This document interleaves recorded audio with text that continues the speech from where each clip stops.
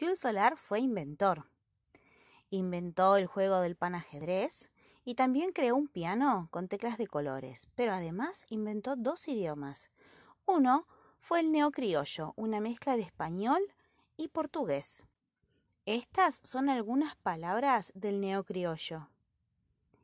Y acá tienen su significado. ¿Te animas a crear palabras nuevas? Esta obra se llama Drago. En ella vemos a esta serpiente o dragón con banderas. En su cuerpo lleva las banderas de los países de Latinoamérica y alrededor de otros países del mundo.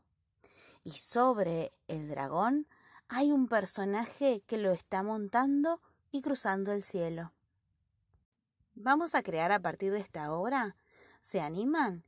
En ella va a aparecer el dragón y le podemos poner banderas, banderas de algún país o banderas inventadas.